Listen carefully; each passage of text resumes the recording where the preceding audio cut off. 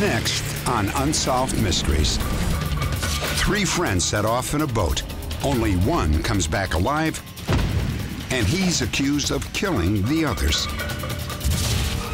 A tragic motorcycle accident leaves a young woman brain damaged. Now she's missing, and police need your help to find her. The Gulf War, the Oklahoma City bombing, a deadly earthquake in Japan. Does the Bible contain a secret code that predicted these events? And meet two women who swear by a controversial treatment for MS honeybee stings. Five stories. They're all strange, but guess what? They're all true.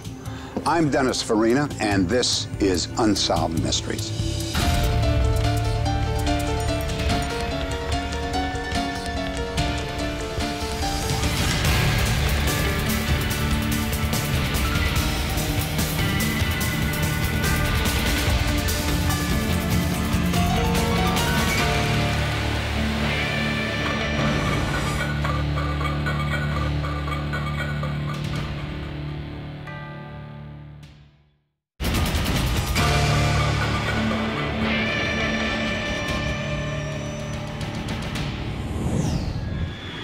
In Clearwater, Florida, three friends set out by boat for a night of partying on Honeymoon Island, a mile off the coast. Two of them don't return. Freddie Doberly and Mary Lou Holmes are found murdered. The third man on the boat, Glenn Consagra, is charged with the double homicide. Before his trial, Glenn pleads guilty to second degree murder. But once in prison, he claims that he's innocent. I don't think there's any question that Consagra is guilty of the offense. The evidence is overwhelming, and I'm not surprised by his continued attempts to, uh, to escape the punishment for the crimes he committed. I didn't kill Mary Lou or Fred. They were my best friends. We were celebrating a very wonderful occasion. We were just best friends out doing their thing together. It was a special time for us, and it turned to tragedy. No, I didn't kill him. A convict who claims he's innocent is nothing new. But what makes this case unique is that Glenn's story is backed up by a private investigator and a special task force of the Public Defender's Office. They found information and a witness who support Glenn's claim that someone else gunned down Freddie Doberly and Mary Lou Holmes. Glenn, Freddie, and Mary Lou plan to spend the evening on Honeymoon Island celebrating the birth of Glenn's grandchild. Glenn says that on the way to the island, their boat broke down, but they managed to land at 10 p.m. on a spoil bank, a tiny man-made island about halfway to their destination. They decided to stay, build a campfire, and continued to party. Freddie and Lou drank all day, every day, so it was pretty much uh their natural state of mind to be intoxicated.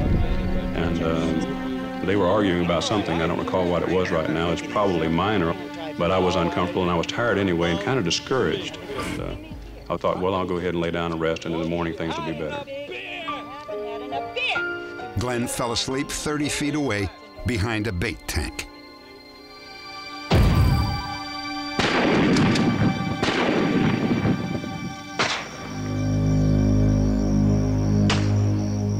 When I heard the gunshots, I, I panicked because we didn't take any weapons with us. I, di- I didn't understand why there was gunshots out there, but I knew something was going wrong.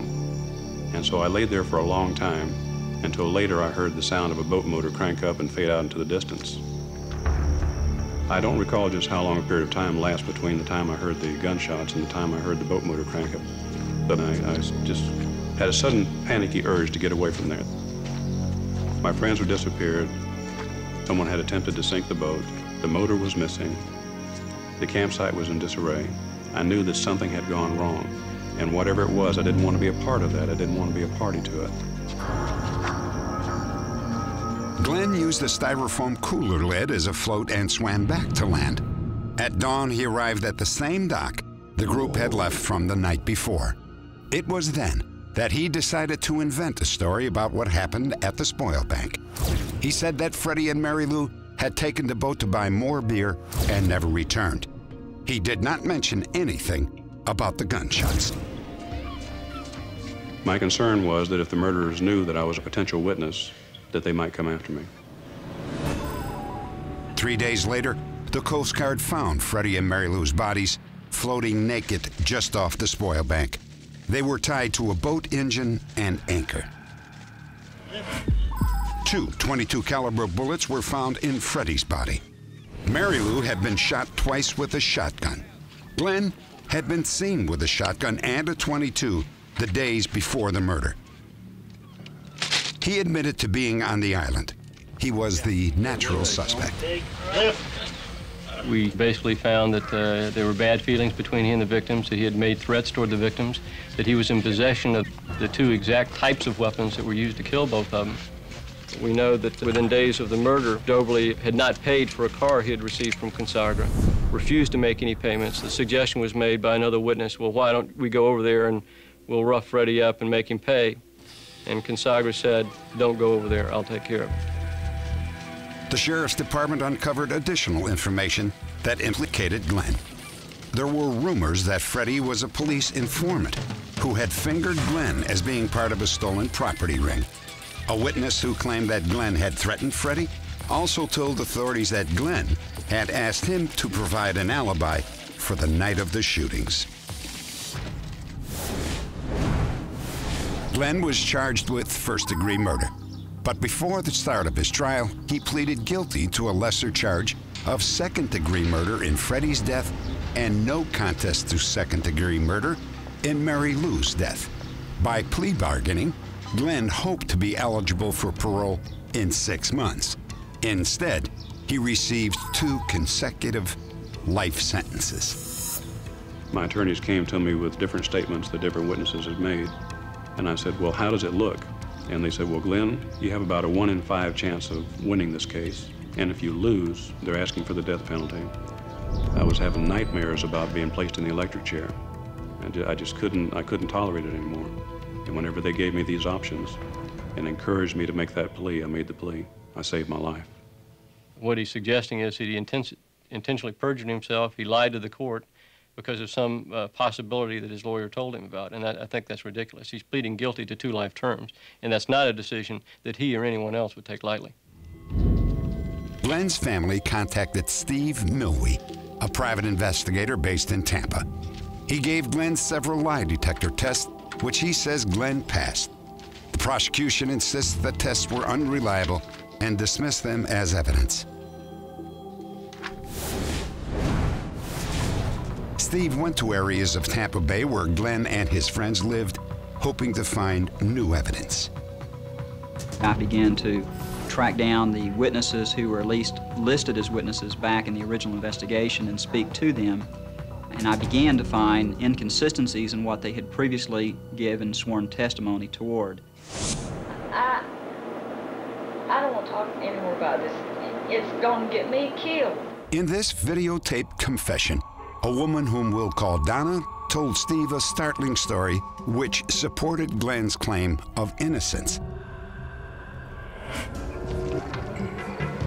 Donna said that she went out to the island that night with two of Glenn's associates. One of them, whom we'll call Ted, was a key witness who had implicated Glenn in the crime. According to Donna, Ted was angry at Freddie for being a police informant and went to the island, in his words, to take care of business. We'll fix you real good. You've been opening your mouth too much, Freddie. After a fight, the second man held a shotgun to Mary Lou, and Ted dragged Donna to the campfire by her hair and forced the 22 caliber pistol into her hand. So you might as well just tell me everything. Tell it to me straight. Don't lie to me.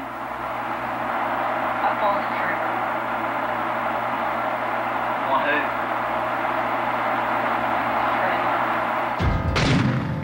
Donna claims that both she and Ted shot Freddie and that the second man murdered Mary Lou. She also said there was no sign of Glenn Consagra on the island. This particular witness has been repeatedly diagnosed as suffering from chronic schizophrenia. She repeatedly and continuously fabricated stories for no reason about things uh, of importance and things of no importance. People who are emotionally disturbed aren't automatically disqualified as witnesses. They can see what they see. And if they can relate it in a rational, believable manner, why shouldn't they be believed the same as any other person? Describe how Freddie was standing. After confessing to the private investigator, Donna was questioned repeatedly by the sheriff's department. She told six different conflicting versions of her story, but she never backed off one important point that Ted, a key witness against Glenn, was involved in the murders. And there were other unanswered questions suggesting that the murders were committed by more than one person. Freddie and Mary Lou's bodies together weighed nearly 300 pounds. Adding the weight of the anchor and the boat engine, how could one person have carried that much down the beach and 30 feet into the water? And if Glenn had committed the murders, why would he sink his own boat, leaving himself at the crime scene with no other way back to the shore other than a dangerous swim? This particular person that uh, Donna suggested uh, was there and committed the murders is a well-known and very close associate of Glenn Consagra. If in fact that individual was on the spoil bank and did have a loud argument with Freddie Doberly, then Glenn Consagra would have immediately recognized his voice and been able to tell law enforcement from day one that this is the man who committed the murders. He has never done so. When I first came here, people used to laugh at me when I would say I was innocent. They would say, oh yeah, me too, you know. But um, I think the reason I should be believed is not because I say anything, but because the record now speaks for itself. The state conducted three separate investigations. Each concluded that Glenn was guilty as charged. Glenn Consagra was never able to prove his innocence. He spent 16 years in prison and was paroled. Two years later, he died of a heart attack.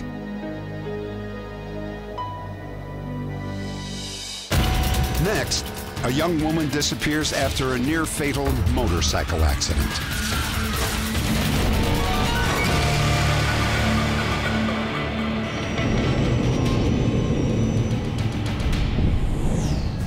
San Francisco, California. One November night, 27 year old Selena Eden was on her way home from a union meeting.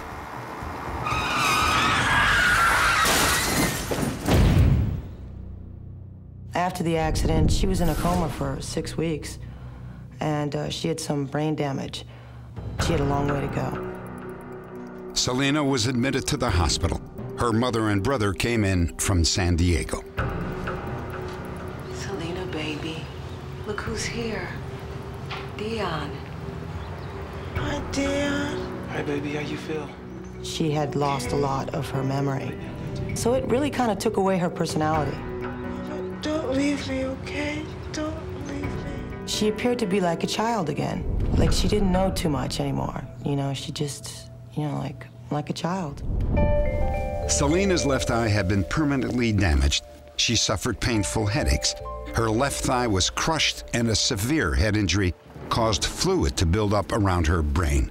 Still, Selena began a demanding regimen of physical therapy. Just a little bit of weight. Selena was the type of patient they had to slow up. She wanted to do everything in a hurry. It was just that she was like rushing everything. She challenged herself to the max, and it was like a lot of things that she just couldn't do. And I guess she just uh, wasn't ready to accept the fact that she wasn't well yet. Two months after the accident, Selena moved to San Diego to live with her mother. Doing good. You know, when she was living with me, she started having more like confused episodes. There was a lot of changes, and she was having a lot of headaches. Uh-huh. So we'll do that. Physically, Selena was getting better, but mentally, she was worse. Are you all right, baby? Mama, who was that I was talking to? I don't know who you were talking to. Did you forget? Yes. Things like that would upset her. That's when I noticed her frustration more and more, and she wanted to be on her own, but the more she pushed it, the more confused she was becoming. Selena decided to return to San Francisco, hoping familiar surroundings would help her recovery. She's very happy to be in San Francisco and to be around her friends. But, you know, she didn't appear healthy enough to be on her own. She was very unaware of a lot of things. I think she definitely needed somebody to be with her, you know, to help her. About a year after the accident, Selena's mother received an unexpected phone call. Hello? Hello, Mama? Selena. Mama, I'm going away for a while. I met someone who promised to be kind to me. Who? She was evasive with me, and that wasn't like her. She would tell me everything, you know. I said, Selena, what you need to do, you need to come back home. And she said, Well, don't worry if you don't hear from me in a month or two. And then she said, I'll be calling you soon, and hung up. And that's the last I've heard from Selena. The last time I heard anything of Selena, she was leaving for somewhere in the Midwest with some woman who she had just met, and I had no idea who it was. And uh, I couldn't get a last name from her. Uh, and it was just kind of a haphazard plan. There was no plan. It's like, I'm going. Selena's family hired a private investigator to search for her. Even after she told her mother that she was leaving town, she was sighted in San Francisco's Tenderloin district. The investigator followed up on all the leads, but never found her. And if you do see her, mm-hmm. would you give me a call? Yeah, sure. Thanks. You know, I just hope she's out there, probably, you know, just living her life. And for what reason she didn't call us, maybe it's just because she forgot us. Maybe she just don't remember. You know, hopefully it's one of those stories. Uh, and hopefully, you know, we can find her. I want to see my daughter again. That's my baby. I love her like I love all my children, and I want her back with us. I want her to try to call or someone call for her if she's unable to call and let us know where she is and how she is. On New Year's Eve, one year after she disappeared, Selena left a garbled message on a friend's answering machine. It was the last time anyone heard her voice. Selena's family and friends continue to believe that she's alive somewhere in the United States and most likely lost and confused. Selena Marie Eden was born in 1962. She stands 5 feet 7 inches tall. At the time of her disappearance, she weighed about 110 pounds and she walks with a limp. If you have any information, please log on to our website at unsolved.com. Next, are there codes in the Bible that can predict major world events? This man believes that he has found them.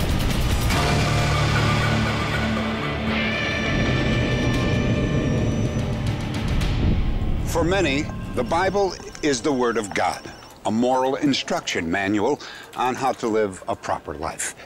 But for journalist Michael Drosnin, there are hidden messages in the words of the Bible, a secret code that he claims has predicted the most important events of the 20th century.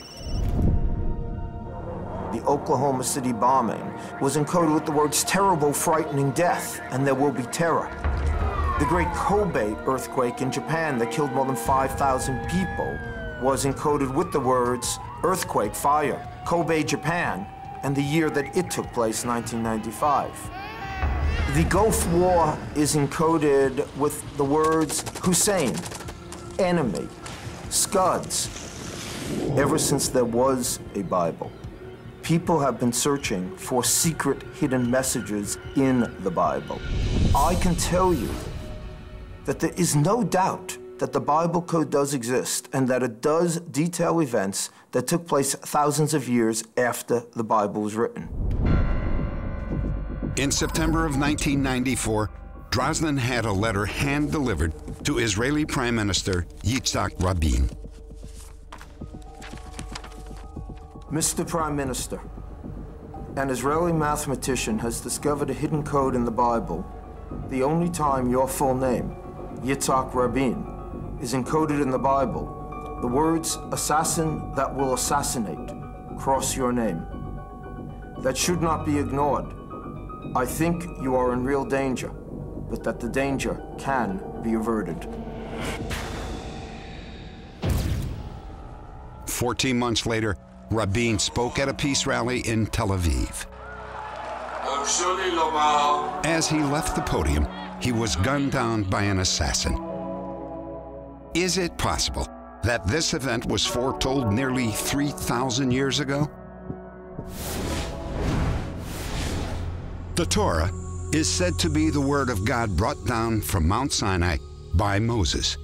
It makes up the first five books of the Hebrew Bible or Old Testament. Most scholars say the Torah predates the birth of Jesus. Prague, 1938. Rabbi H.M.D. Weissmandl discovered the first known example of Bible coding in modern times. The word Torah was spelled out when he skipped every 50 letters in the book of Genesis. Skipping the same number of letters in the books of Exodus, Numbers, and Deuteronomy had the same result. Coincidence? The odds were against it. In 1985, Israeli scientists Doron Witztum and Eliyahu Rips used the computer program called a skip code to find words and patterns in the Hebrew text of the Torah. A skip code tells the computer to start with any letter of the text and then skip through the letters at chosen intervals. In his book, The Bible Code, Michael Drosnin uses this example to show how it works. If you skip every three letters of this sentence, it would look like this. You're left with a new sentence. In this case, the encoded message is read the code.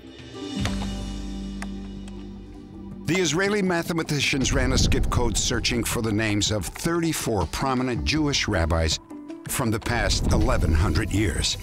Amazingly, all the names were found encoded in the book of Genesis along with their Hebrew dates of birth or death. According to Drosnin, the odds of finding the dates with the names were 10 million to 1. The published report caught the attention of Harold Gans, a former code breaker with the National Security Agency. When I first heard about it, I dismissed it as simply ridiculous. When Gans wrote his own computer program to verify the results for himself, he also found the encoded names of cities. He later learned that these were the cities where the rabbis had either been born or died. The odds here were more than a million to one. I set out to prove that it was nonsense. Instead, I ended up proving that, in fact, it was true.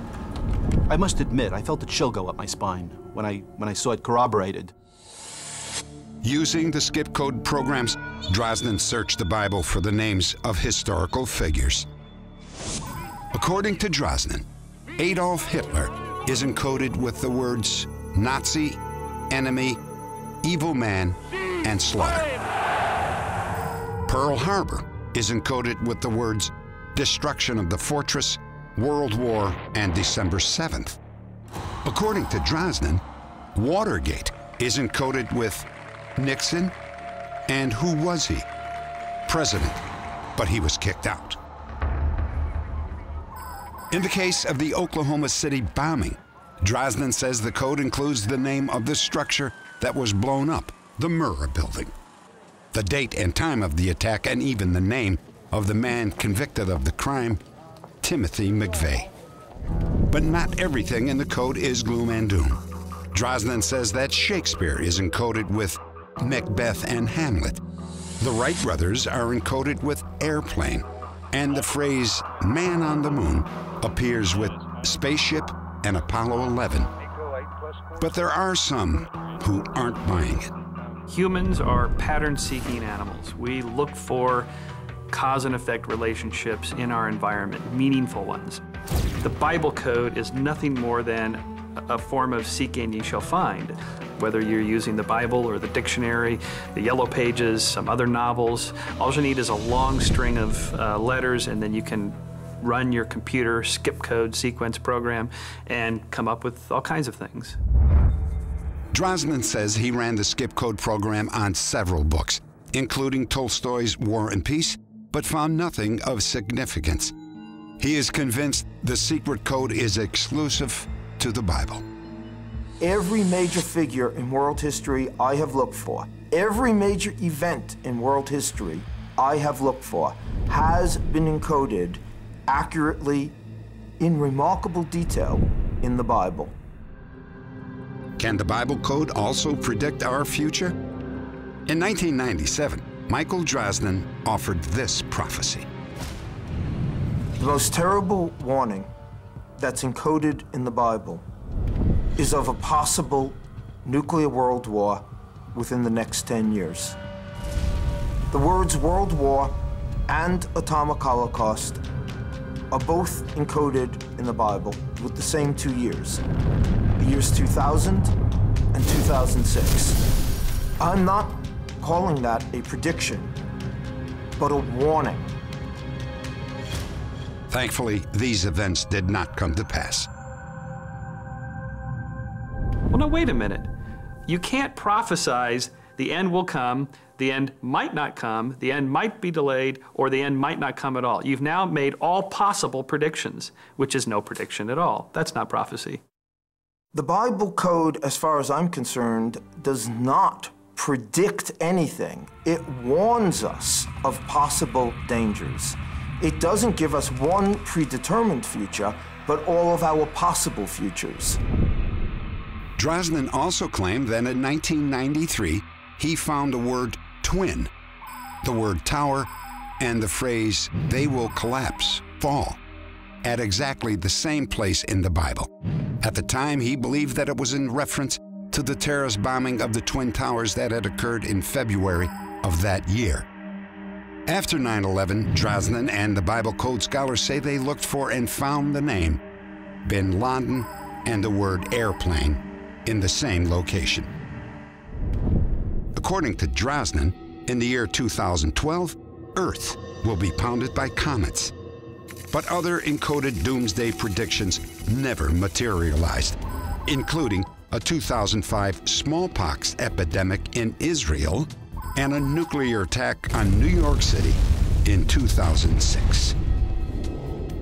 Mr. Drosnin is a journalist. He is reporting on a very complex mathematical work of world-renowned mathematicians. He has not used scientific methodology, and his actual conclusions are logically unsound. It is far better, in my mind, to sound a false warning than to fail to warn of a real danger. People sometimes say to me, Where's the good news in the Bible code? Why all these predictions of terrible catastrophes? And I say the good news is that some intelligence cared enough about us to encode the Bible and leave us these warnings so that these dangers could, in fact, be prevented.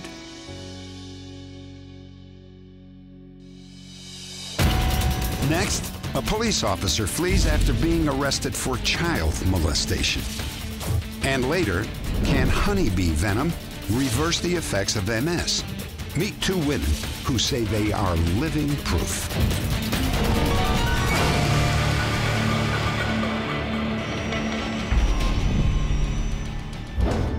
On a previous broadcast, we presented the case of Charles Muley, a 10 year veteran of the Slidell, Louisiana Police Department. Muley was arrested at a local motel where he had just molested a 12 year old girl. At the time, he was the sergeant in charge of sexual offenses for the Slidell Police Department, and his victim was a young girl that he was assigned to counsel. Considering the serious gravity of these offenses, Muley was indicted on over 25 counts relating to the molestation and rape of six young girls. He was released on $150,000 bail. Eight months later, on the morning that his trial was set to begin, Muley was reported missing. For more than three years, his whereabouts were a mystery. Update Charles Muley has been captured. Within minutes of our broadcast, the FBI received several calls from viewers who reported that Muley was living in Ocala, Florida, under the assumed name Joseph John Tranchina. Muley had seen our broadcast and left the area for three weeks. When he returned, he was placed under arrest. Muley was convicted on multiple counts, including aggravated assault against nature, molesting a juvenile, and jumping bail.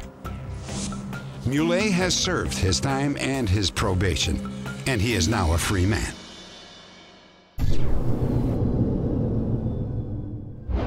Understandably, most people try to avoid any contact with bees. But to some, honeybees are miniature flying drugstores that could reverse the course of multiple sclerosis. It is a controversial treatment known as bee venom therapy. Kelly Ames was in high school when she noticed the first signs of multiple sclerosis, or MS. By the time she was 22, her symptoms were impossible to ignore. One day I was in work and I was walking down a flight of stairs. There must have been like 12 stairs where I just lost the feeling in my feet, like all of a sudden, and I fell down a flight of stairs. And the women in my office were like, wow, you know, I, I explained to them that my feet sometimes get numb. The disease first robbed Kelly of the ability to walk alone. Then it attacked her eyes. Donald. I can't see anything out of this eye. Within that week, I lost the vision in my left eye, and I had no control over my muscles. It was just very devastating. I hated to depend on other people, but at times I needed other people to help me. Kelly's doctors put her on steroids, which can temporarily relieve the symptoms of MS, but no drug can stop it. Having the steroid dripped into my arm, I would sit there for an hour and a half looking at other MS people coming in in wheelchairs and wondering if that's going to be me someday, you know, in that wheelchair. Then Kelly met a woman who had literally walked away from her wheelchair after learning how to sting herself with honeybees. Kelly's father brought her to a local beekeeper who had been helping MS patients for years. Kelly, these are the honeybees that are going to He told me that he didn't want to be bothered by me if I wasn't serious about it. He said, you have to do this for six months straight, every other day, faithfully. Increase it by two every other day until you get to 20. And he scared me when he said that because I realized that I really had to take the responsibility of sticking to this. And I did. Kelly and her boyfriend set up a morning routine. He placed the bees at specific spots on Kelly's body where nerves running to the damaged areas were easy to locate. For Kelly's failing eyesight, that was behind the ear. Bees were also placed on Kelly's lower back to treat the weakness in her legs. They were left in place for as long as 15 minutes to allow all the venom to penetrate the skin. Getting dressed and I'll come back, okay? Okay. Kelly's nervous system had been so impacted by MS that she was stung several hundred times before she actually felt the pain of the sting. I could actually feel what a bee sting felt like, and it hurt. It really hurt. I was screaming. I had my head in my pillow, and I was screaming. And I was screaming because I was happy because I could feel again. Within a week, my eyesight started to slowly come back. I didn't depend on my cane as much, and right then and there, I just knew finally this was kicking in and it was working for me. Okay, what I'm gonna do is grab the bee. Kelly ended up teaching bee venom therapy to others suffering from MS. Some doctors dismiss it, but Kelly's remarkable recovery is not unique. When I decided to do bee venom therapy, we kind of kept it a little hush hush because I didn't know what other people's reactions would be. Um, I knew what the reactions from my doctors were, so I figured, you know, well, we'll keep it a little quiet. I was always afraid of bees and being stung, but I just felt that this was my only answer. A local beekeeper taught Maureen how to grab the bee's bristly neck and cause it to jab its stinger at precisely the right location. I was told to sting it right on the top of your foot right here. Okay. By the time Maureen began bee sting therapy, her feet were so numb that she could hardly sense they were there. To the touch, they were icy cold. Okay, I think that's long enough. Within minutes, my foot was warm. You could feel the venom going through and the blood. It felt like, you know, there was life in my foot again. It was just an incredible feeling. I knew right from that moment that something good was happening, and I, I felt that this was going to help me. This photo of Maureen and her son was taken six weeks after she began bee venom therapy. She had just crossed the finish line in a seven mile MS walkathon. Success stories like this have some doctors saying that bee venom therapy is far too promising to be ignored. At first, it may be easy to dismiss bee venom therapy. Uh, the fact is, it sounds a little kooky. However, in studying about bee venom, there are certain substances which make sense in multiple sclerosis therapy. We know that the immune system is involved, and of course the neurologic system is involved. Therefore, bee venom, which has components which affect both the immune system and neurologic system, is a natural substance which seems to have some effects in MS. One note of caution. Many people are deathly allergic to honeybee stings, so anyone considering this treatment must consult a doctor. Next, two brothers discover they have a sister they have never met.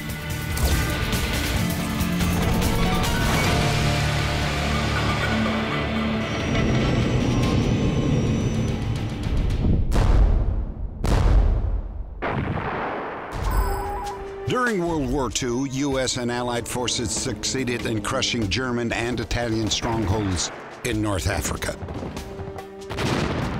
But the victories came at a high price. Among those killed was Army Private Harry A. Young from Philadelphia, Pennsylvania.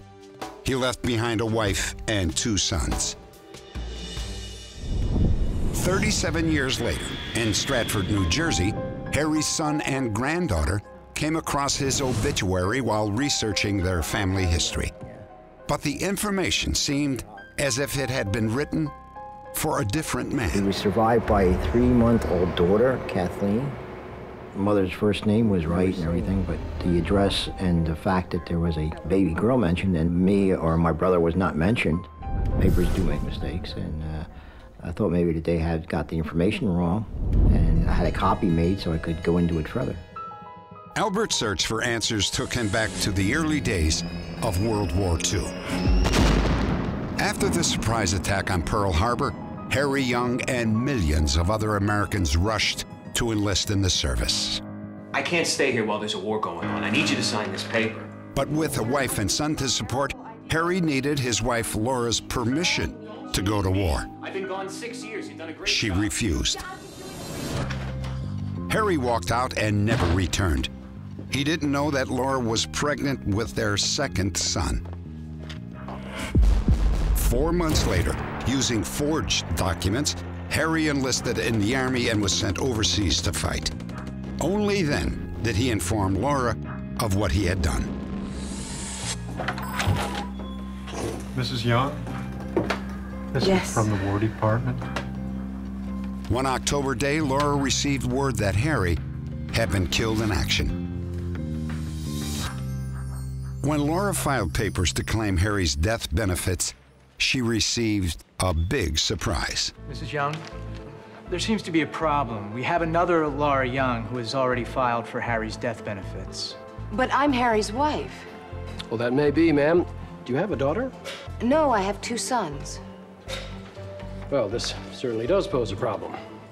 There were two women collecting benefits for one man, and that's when it had to be proven that my grandmother was indeed the first wife and was never divorced from my grandfather. This means a lot to me. Apparently, after leaving Laura, Harry began living with another woman named Estella. After Harry's death, Estella filed for benefits using Laura's name. Eventually, Laura was able to prove that she was Harry's wife and she retained all benefits for herself and her two sons, Albert and Jimmy. For nearly 40 years, the details of Harry and Estella's love affair were kept secret from his sons. Then, a letter written by Estella surfaced. She had sent it to Harry's parents the day after she learned of his death. In the letter, Estella revealed that she and Harry had a baby daughter together named Kathleen Mary Young. When I read the letter, I got the feeling that she was very much in love with my grandfather, that she was devoted to him, and she would do anything in the world for him. Hello, Mr. Young. I'm Estella.